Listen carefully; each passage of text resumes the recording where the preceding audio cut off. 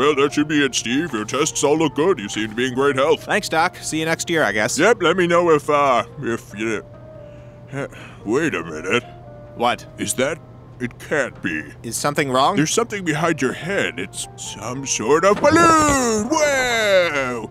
Uh, Man, that's weird. yes, yes, it is. Oh, wait a minute. I think. Yes, yes, it's another balloon! Wow!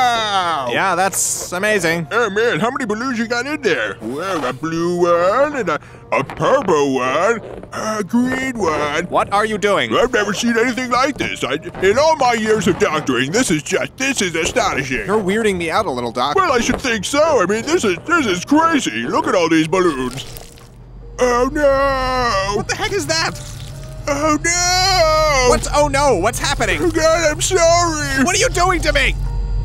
Oh look, it's a little dove. What? It's a beautiful little dove. What's wrong with its face? It's a beautiful, perfect dove. This is very bad. The dove is bad. I'm so sorry. This is very bad. What do I do? I've got to put it back. Don't put it back. I'm sorry. It has to go back. I don't want it to go back. I want you to tell me what's going on. I can't, but the dove must go back.